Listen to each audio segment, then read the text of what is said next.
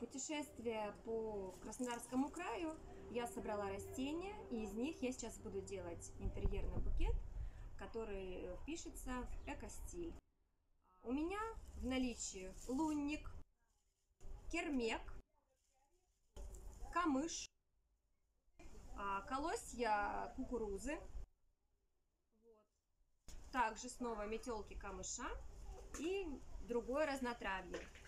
Из подручных средств у меня есть секатор, изолента, ножницы и атласная лента для оформления нашей ножки букета.